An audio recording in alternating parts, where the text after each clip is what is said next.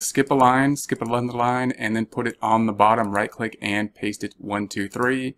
Inventory is going to go down by the cost, which is the 70. I'm going to put it as a credit of a negative 70,000. We're going to debit something in relation to that.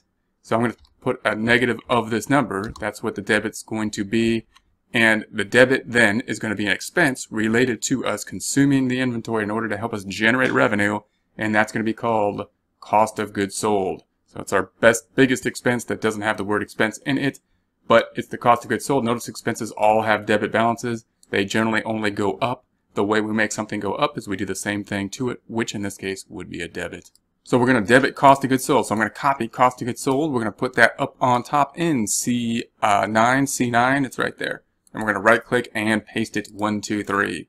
All right, so we're going to post this one out. So cost of goods sold. Here's cost of goods sold. Here it is down on the trial balance. We're going to post it to N18 by saying equals, pointing to the 70,000, bringing the cost of goods sold up. Cost of goods sold always goes up like all expenses. Puts us out of balance and it's going to bring net income down. So notice the effect we have on the income statement. It went up by the 110. That's increased because it's a credit minus the, the 70 net amount of 40 increase from this transaction on the income statement.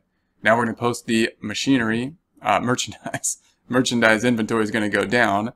So here it is. We're over here in N9. N9 equals, we're going to point to that 70. It's going to go from the 132 down to 72,000. That will also put us back in balance. And also note that I recorded this transaction with two journal entries, even though they happen at the same point in time.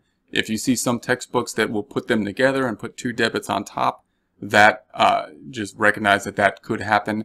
Uh, in my